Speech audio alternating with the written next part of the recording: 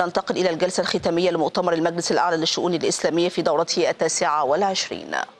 داعيا الله عز وجل اللهم حبب إلينا المدينة كحبنا مكة أو أشد. هذه المحبة للوطن هذه المحبة للأرض لمراتع الصبا لبدايات الإنسان احترمها الإسلام بل وجيشها وأثارها. الإسلام يحترم ويزيد ويوقظ كل شعور طيب في النفس الإنسانية. ولو كانت مشاعر الوطنية ومشاعر حب الوطن والحنين إليه لا تليق بالمسلم لا قدر الله لو كانت كذلك ما عمل الإسلام على الاستزادة منها. الشخصية الوطنية أو الشخصية الإنسانية والشخصية الإسلامية في مجتمعاتنا العربية والإسلامية لها مقومات ولها مكونات تبنى عليها. ربما أيها الإخوة والأخوات أيها السادة العلماء وأنا يعني لا أقف أو لا أجلس بينكم الآن معلما. أنا لا أرى نفسي كذلك. أنا طالب علم وسأظل طالب علم ما حييت ولكن هو من باب التذكير فقط والاستذكار لأن زكاة العلم أو في بعض أو من بعض زكاة العلم مذاكرته مع أهله. الدين الدين في المشرق العربي وفي العالم الإسلامي هو المكون الأساس والأهم في الوعي الفردي والجمعي للعرب والمسلمين. لا توجد ثقافة لا أتخيل وربما توافقوني على هذا. أنه لا يمكن أن نتخيل ثقافة عربية وإسلامية بدون أن يكون الدين هو مكونها الأساس وهو مكونها الأهم وهو مكونها الأبرز. بعض المستغربين في مقابل المستشرقين يريدون أن ينحوا الدين جانبا لا قدر الله طبعا عند تكوين الثقافة العربية والإسلامية. ويقول أن الدين هذا مسألة يعني شعورية بينك وبين الله. لا أيها الإخوة والأخوات الدين هو المكون الأهم والأساس في بناء الشخصية العربية والإسلامية وبناء الشخصية الوطنية. حتى في القطر الواحد الدين هو المكون الأساس. ولذلك إذا أردنا أن نبني شخصية وطنية علينا أن نحترم دور الدين دور الإسلام في بنائها في تكوينها في توجيهها في ترشيد حركتها في حركة الحياة المتصارعة المت... العجولة المتداخلة عناصرها بشكل ربما يدعو أو يبعث في بعض الأحيان على إثارة الخلط في بعض العقول هي بحاجة إلى من يرشدها ويقومها ويحفظ لها مسارها. لا يوجد كالدين في القيام بهذا الدور. ولذلك يجب أن لا ننسى وأن لا نغفل عن الخطاب الديني في تكوين الشخصية الفردية والجماعية للأقطار العربية والإسلامية وللمجتمعات العربية والإسلامية.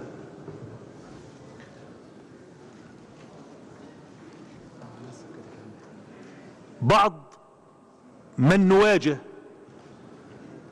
من الجماعات المنحرفة اتخذت الدين مطية لا قدر يعني والعياذ بالله ولا قدر الله أن يكون الدين كذلك. لكنها ظنت أن بإمكانها أو توهمت أن بإمكانها أن تجعل من الدين مطية لتحقيق مآربها وتحقيق شيطناتها وخدمة أجندات من يحركونها ومن يدفعونها ويدفعون لها. فأصبح الدين في عقول بعض الجهال أشبه ب سامحوني على الكلمة العامية بعبع. إنه لا ابعد عن المشايخ. سيبك من المشايخ هذول بيغرقوا سفن. هذول بدهم الناس آه، تعيش في القرن ال- ال- ال- الأول والقرن الثاني. الدين ليس كذلك. ويجب أن لا نسمع لأمثال هؤلاء. ويجب أن لا نط... لا نكون متطرفين في مواجهة المتطرفين. في مواجهة التطرف. لا يجوز أن نكون أيضا متطرفين. يعني هذول بدهم يتطرفوا في فهم الدين البعض بده يروح يتطرف في التحلل من الدين. وكأنه المشكلة في الدين. وكأنه المشكلة في الوعي الديني. وكأنه المشكلة في قيم الدين وفي أخلاق الدين وفي مكونات الدين. لا المشكلة في العقول. المشكلة في الوعي. نحن على سبيل المثال في فلسطين. في فلسطين نحن شعب يحترم هويته الوطنية وليس فقط يحترمها بل يعتز بها ويفخر بها. في يوم من الأيام ونحن رغم أننا شعب تحت الاحتلال الرئيس الفلسطيني محمود عباس أبو مازن عاد من الأمم المتحدة ذات مرة ذات سنة وفي استقبال شعبي له قال كلمة يجب أن تسجل. قال ارفعوا رؤوسكم لأنكم فلسطينيون. هذا الاعتزاز بالقيمة الوطنية هذا الاعتزاز بالقيمة الوطنية. والمصري كذلك يفخر بمصريته والسعودي يفخر ب- بوطنيته وكل يفخر بهويته الوطنية وبانتمائه إلى قومه. حتى النبي صلى الله عليه وسلم عندما آه، أراد أن يمدح العرب قال أحب العرب لأني عربي ولأن القرآن عربي ولأن كلام أهل الج- أهل الجنة العربية. كأنه, كأنه يعتز بقوميته يعتز بانتمائه يعتز بجنسه. الدين الآن هو الأساس الذي يحركنا. نحن في فلسطين نتحدى الاحتلال وكلكم تسمعون كما في انتصار أكتوبر يا فضيلة الشيخ كانت كلمة الله أكبر هي شعار المنتصرين اليوم في فلسطين في المسجد الأقصى. عندما تكون هناك مواجهة مع قطعان المستوطنين أنت لا تسمع إلا الله أكبر. الدين إذن هو المقوم الأساس في بناء الشخصية الوطنية ويجب أن لا نغفل عنه وأن لا نغفل دوره. والوقت كالسيف إن لم تقطعه قطعك والوقت قد قطعنا. شكرا لكم والسلام عليكم ورحمة الله. شكرا. شكرا معالي الوزير محمود الهباش وزير الأوقاف السابق لدولة فلسطين. الدين هو المكون الأساسي والأهم في الوعي الفردي والجماعي وفي بناء الشخصية العربية الإسلامية. ويجب ألا ننسى الخطاب الديني. يجب ألا ننسى الخطاب الديني. ربما أود أن أعلق على هذه الجملة وأقول للسادة العلماء الأجلاء آن الأوان أن ننتقل من مرحلة الخطاب إلى مرحلة المعاملات والقدوة.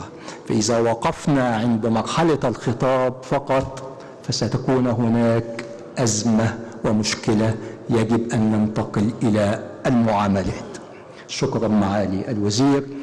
الكلمة الآن إلى الأخ الفاضل العزيز العالم الجليل معالي الوزير عبد السلام العبادي وزير الأوقاف والشؤون والمقدسات الإسلامية الأسبق. بدولة الأردن الشقيق ورئيس جامعة آل البيت أمين عام الهيئة, الخيرية الأردنية الهاشمية أمين عام مجمع الفقه الإسلامي بمكة المكرمة رئيس وفد دولة الأردن الشقيق فليتفضل سيادته.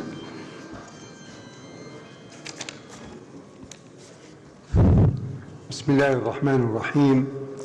الحمد لله رب العالمين حمدا يوافي نعمه ويكافئ مزيده وإبطاله وأصلي وأسلم على رسوله الكريم وعلى آله الطيبين الطاهرين وصحبه أجمعين ومن اقتدى به وسار على دربه إلى يوم الدين. اسمحوا لي في البداية أن أتقدم لجمهورية مصر العربية رئيسا وشعبا وحكومة على هذا اللقاء الطيب المبارك الذي تيسر لنا في رحاب وزارة الأوقاف وشؤون المقدسات الإسلامية وعلى رأسها معالي وزيرها محمد مختار جمعة حفظه الله ورعاه. شاركت في هذا المؤتمر بعنوان بحث لي بعنوان الخطاب الإسلامي المستنير في مواجهة الغلو والتطرف ما يسمى بالإرهاب في هذه الأيام. ولكن ظروف وصول البحث وما يتعلق به أدت إلى أن لا يكون ضمن ما عرض في هذا المؤتمر. فلذلك اسمحوا لي أن أعرف أولا بمجمع الفقه الإسلامي الدولي الذي ورد ذكره في كلام أستاذنا الجليل الدكتور عبد الهادي سماحة الشيخ عبد الهادي. هذا الواقع هو الذي أعمل به الآن أمين عام مجمع الفقه الإسلامي الدولي. أما وزارة الأوقاف وما يتعلق بالمناصب الأخرى فقد كانت لي أثناء عملي في المملكة الأردنية الهاشمية قبل ذلك. وبحمد الله رئيس وفد المملكة الأردنية الهاشمية معالي وزير الأوقاف الحالي اللي هو الدكتور عبد الناصر اللي كان حاضر في هذا اللقاء في صباح هذا اليوم. فلذلك يعني أنا أمثل مجمع الفقه الإسلامي الدولي كأمين عام له. ومن المهم أن تعرفوا ما هو مجمع الفقه الإسلامي الدولي. مجمع الفقه الإسلامي الدولي هو مؤسسة اجتهاد جماعي للنظر في القضايا الحادثة والأمور المستجدة والذي مثلت فيه جميع الدول الإسلامية. يعني تشكيلة المجمع كما طلبه مؤتمر القمة الذي عقد سنة 1981 دورة القمة التي عقدت في مكة المكرمة في في مكة المكرمة. آه تلك الدورة قررت إنشاء مجمع فقهي إسلامي بناء على توجيهات من الملك خالد حفظه الله. وقال إن كثرة القضايا الحادثة وتعدد القضايا المستجدة في في عصرنا هذا تتطلب التقاء علماء المسلمين للنظر فيها وبيان الحكم الشرعي فيما يتعلق بها وكيفية مواجهتها والتعامل معها في كافة حقول المعرفة. على ضوء هذا القرار الذي صدر سنة 81 التقى مشروع النظام الأساسي أقره وزراء الخارجية في حينه في إحدى البلدان الأفريقية ثم بعد ذلك في مؤتمر القمة الذي عقد سنة 1983 كان المؤتمر التأسيسي للمجمع والذي التقى فيه ممثلون لأكثر من 47 دولة إسلامية. النظام يسمح لهم بأن يختاروا ما لا يزيد على ثلث الأعضاء من الجاليات الإسلامية ومن المنظمات التي تعمل في مجاله. مجال الفقه الإسلامي المعاصر. وحقيقة قاموا بذلك وأصبح المجتمع المجمع يلتقي ولقاءاته متعددة. استضافته الدول في مجالسه المتعددة. وأذكر على سبيل المثال المملكة العربية السعودية السعودية استضافت تسع دورات لمجلس المجمع. الكويت استضافت ثلاث الإمارات استضافت ثلاث المملكة الأردنية الهاشمية استضافت اثنتين الجزائر آه، بروناي ماليزيا كل هذه الدول استضافت هذا المؤتمر في دوراته. وآخر دورة له عقدت في المدينة المنورة على ساكنها أفضل الصلاة وأتم التسليم الدورة الثلاثة والعشرين. الدورة الثالثة والعشرين تصدت لقضايا عديدة كان من أهم هذه القضايا الإجراءات العملية الفكرية والعملية الأخرى التي يواجه بها الغلو والتطرف وما يسمى بالإرهاب في هذه الأيام. وقد أخذ المجمع قرارا في هذا الأمر تفصيليا واسعا يعتبر من أجل ما اتخذ من قرارات في هذا المجال الحيوي. هذا المجمع تصدى لكثير من قضايا الأمة في استعرضته في كتاب لي بعنوان دور مجمع الفقه الإسلامي في البناء الدولي في البناء الفكري والعقدي للأمة حيث استعرضت أكثر من 1100 قرار في مختلف مرافق الحياة الاقتصادية والاجتماعية والفكرية وأيضا فيما يتعلق بالبنوك وصكوك المقار والصكوك الإسلامية وما يتعلق بالتأمين وغيره من قضايا الأمة المتعددة. وطلب من إدارة المجمع في سنة 1900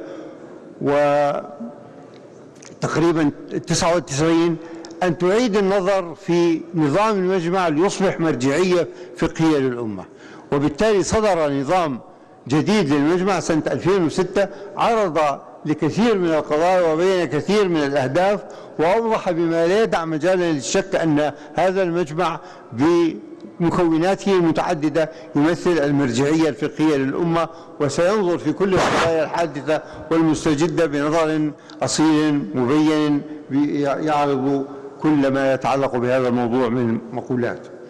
والواقع كانت هذه القرارات التي يصدرها المجمع وما كتب فيها من بحوث وما أعد فيها من دراسات وما دار حولها من نقاش يسجل في مجلة المجمع التي آه، تعتبر أساسية في هذا المجال إذ بلغ عدد مجلداتها حتى الدورة الثالثة والعشرين 76 مجلدا. وبذلك نحن أمام حصيلة كبيرة تمثل كل الآفاق التي آه، يجب أن نتصدى لها في هذا العصر.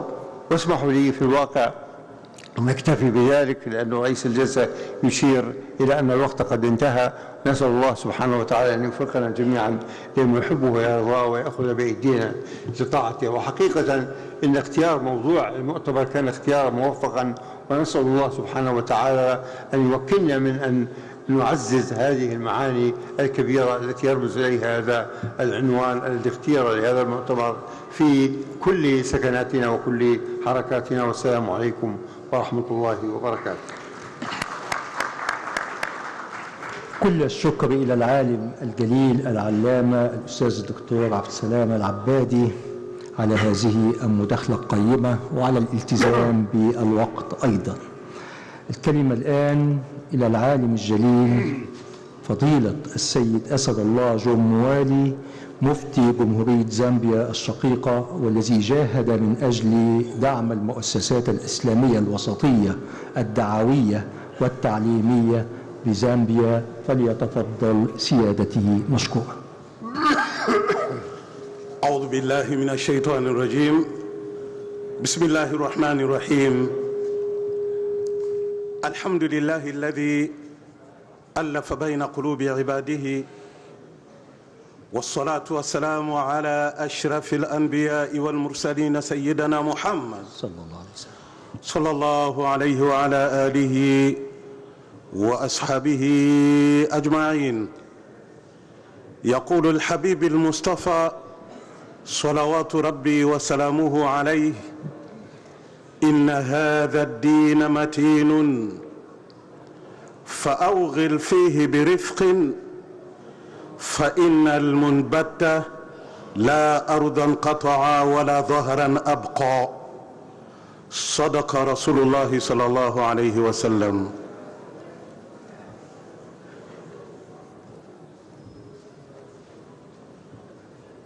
أود أن أشكر الإخوة والأخوات. التنظيم البيت أو المنزل يأكل الإنسان وأولاده صباحا فول والطعمية وشوية من الشاي. وفي الغداء نفس الطعام. وفي المساء نفس الطعام. سمعنا باللغة العربية وإنما الآن أريد أن أغير الطعام باللغة الإنجليزية In the name of Allah, the Beneficent, the Merciful, we thank Allah for the Arab Republic of Egypt and His Excellency Abdul Fattah al-Sisi, the organizers, Dr. Uh, Juma,